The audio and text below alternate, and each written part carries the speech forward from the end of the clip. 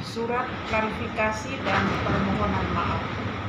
Saya Oliva Bala, selaku Kepala Sekolah SDI Pribaler, dengan ini menyampaikan permohonan maaf atas isi surat himbauan yang saya tujukan kepada orang tua murid SDI Pribaler yang berisi tentang isu penculikan anak yang terjadi di Kahagoleng, Desa Wolonterang, Kecamatan Doreng, Kabupaten Sika, tertanggal 4 Februari 2023 yang sudah menyebar luas lewat medsos dan telah meresahkan masyarakat Kabupaten Sika.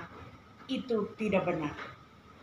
Oleh karena itu, saya menyampaikan kepada seluruh masyarakat Kabupaten Sika, khususnya anak sekolah, untuk tetap menjalankan aktivitas belajar mengajar seperti biasa.